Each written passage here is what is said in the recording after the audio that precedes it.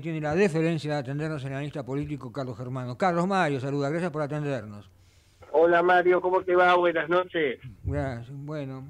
Bueno, Carlos, no sé si estabas escuchando alguna de las cosas que yo estaba comentando y la verdad que, mm, no sé, este, a esta altura del partido, este, ¿qué se puede decir en, en medio de esta danza, no es con lobos, danza con, no sé, con corderos, con, o, o con candidatos, con alianzas, y la cosa sigue igual. Sí, yo creo que estamos, aparte estamos en los las dos, tres semanas donde más difíciles para pensar en, en nosotros, o sea, acá en este momento lo que está prevaleciendo mucho, como en todo cierre de el político y de candidaturas, pre- pre- prevalece fuertemente el, el egocentrismo y el, el, el, el yoísmo. O sea, me parece que estamos transitando por una etapa difícil, una etapa donde hubo algunas novedades importantes, fundamentalmente en la coalición oficialista, Mm, de, de no haber paso, pasó a haber paso, o sea que inexorablemente ahí hubo ganadores y perdedores porque eso produjo efectos políticos. Mm, Creo que tenés ahí dos figuras que sintieron el impacto, que es eh, el presidente del PJ y diputado nacional Máximo Kirchner y el ministro de Economía Sergio Massa, que desde un primer momento plantearon plantearon que no era conveniente que el, Frente de Todos, hoy llamado Unión por la Patria, eh, sea vaya a las pasos. Y después también hay otro efecto no menor, que es que hoy el liderazgo de Cristina no abarca a todo el, el justicialismo, sino que abraza a un sector. Y esto me parece que también se vio con la candidatura de, de Daniel Scioli. Y después también afecta al, a la coalición opositora, específicamente a Horacio Rodríguez Larreta, ¿Por qué? A ver, contá. porque, porque si no hubiera habido paso, Ajá. digamos, había mucho voto peronista no acá que miraba, estaba mirando la figura de Larreta. Ah, Un voto más, si querés, de centro, no. En, e- en, e- en ese voto yo creo que Larreta podía obtener. Hoy, Scioli puede representar o contener mucho peronismo de conten- descontento que no está de acuerdo con el liderazgo de Cristina Kirchner.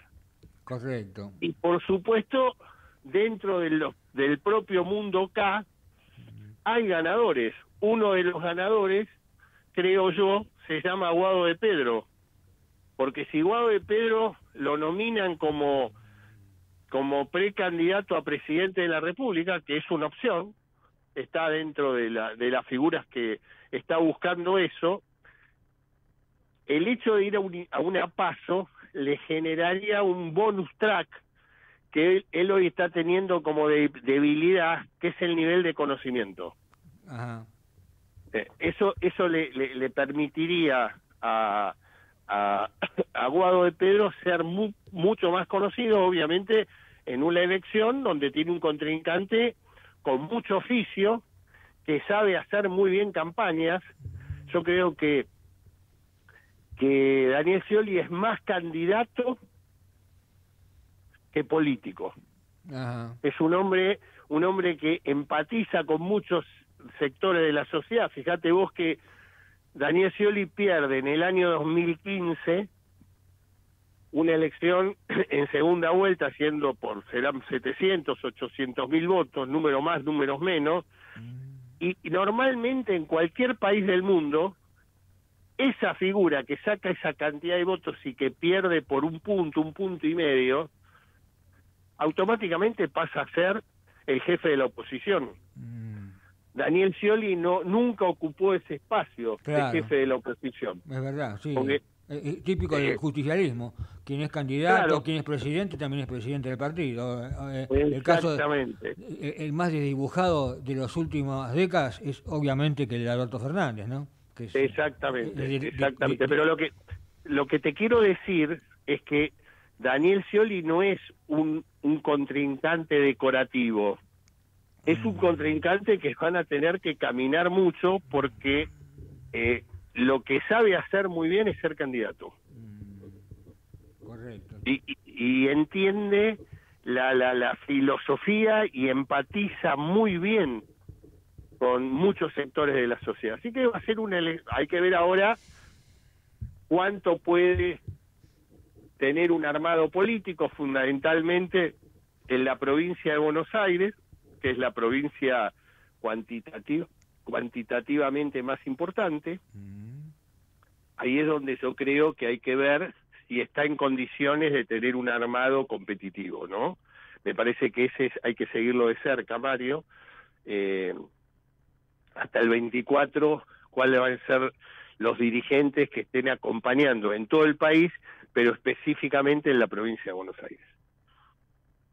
Este, no, la pregunta es eh, ahí Massa, ¿no? Porque Massa tiene en este momento como un doble rol como ministro de Economía y también como potencial candidato. Y hay algunos mensajes que lanzó su, su esposa diciendo, bueno, guarda, eh, que este, si Massa se va, y además es reconocido de alguna forma como un parte de una empatía de Massa con parte del establishment, ¿no es cierto?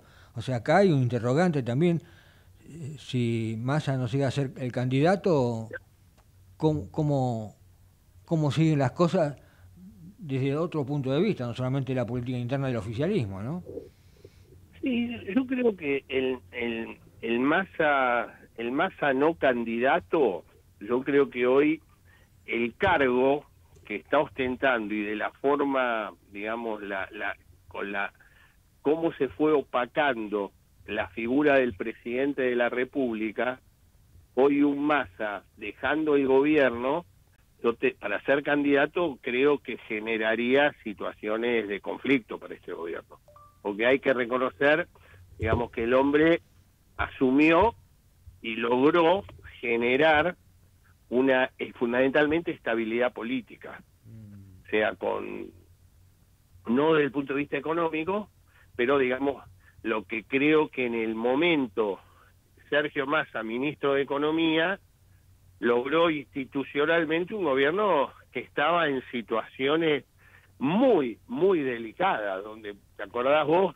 En ese momento hablaban de adelantamiento de elecciones, claro. Eh, hablaban hasta de helicópteros, o sea, situaciones que para un gobierno justicialista era impensado eh, pensarlo.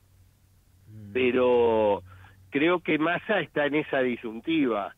O sea, el hecho de ser precandidato a presidente de la República automáticamente tendría que dar un paso al costado para el cargo que está usted estando hoy. O sea, creo que van a evaluar muy bien, me imagino que, bueno, eso es, fundamentalmente queda a cargo de Cristina. Es Cristina quien va a decir quién es el precandidato que representa a ese sector, ¿no? Eh, y el tema este de, de Chaco, ¿cómo lo ves? No, yo creo que lo del Chaco es un es una, tragedia, es un drama. Esto eh, son lamentablemente situaciones de, de la baja del bajo nivel institucional que tienen casi todas las provincias argentinas, salvando con excepciones en general el nivel de feudalismo que tienen las provincias argentinas, eh, fundamentalmente de, de, del norte, del NOA y del NEA, son muy, muy, muy, muy fuertes, ¿viste? O sea, esto me parece que ya lo hemos visto en otras oportunidades, estas asociaciones con los hombres poderosos de la política, con sectores sociales o, o punteros políticos o organizaciones sociales donde la concentración de poder es muy fuerte, donde tienen acceso a todos los poderes eh, bueno, y pasan estas situaciones. Esto, lamentablemente, en estos 40 años de democracia hubo varias, varios casos que conmovieron al país y te digo que ayer viendo la manifestación eh, que había en la ciudad de Resistencia, te digo, me llamó poderosamente la atención porque era muy conmovedora, gente que por ahí no podía hablar, le ponían el micrófono y se largaba llorando. Y también vi mucha gente joven, madres jóvenes, eh, muy apenadas, muy preocupadas, se veían que estaban con hijos de, de poca edad, de cuatro o cinco años, y donde le costaba también hablar. Me parece que son esos temas que uno lamentablemente dice es un antes y un después, y después te das cuenta que pasó y pasó. y sigue, sigue siendo todo lo mismo, ¿no? Em, ¿Y vos, ves que pueda tener alguna repercusión a nivel nacional o se va a localizar en, provincialmente? Este, porque no, yo creo que... Lo, de María Soledad tuvo una repercusión nacional, obviamente, ¿no?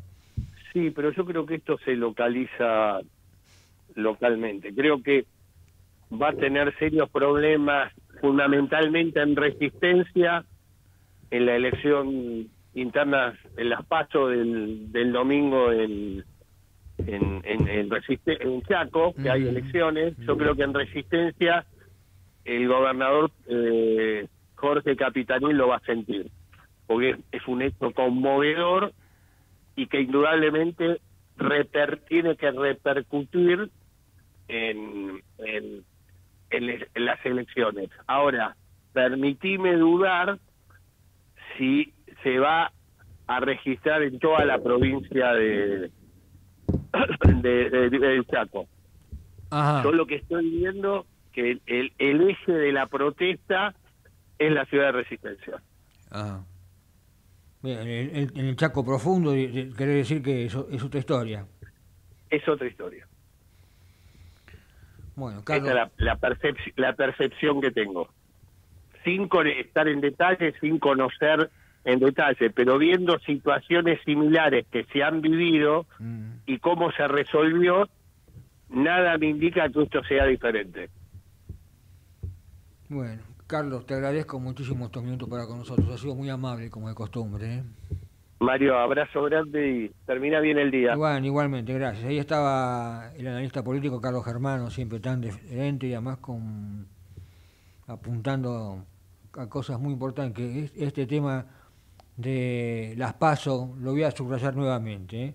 Eh, que va, indefectiblemente va a tener que afrontar el oficialismo, también no es muy conveniente para la oposición porque muchos votos de, claro, lo que podría ser el algún desencanto peronista con el kirchnerismo que podría volcarse hacia la reta o Bullrich, en definitiva va a tratar de canalizarse por la paso del oficialismo.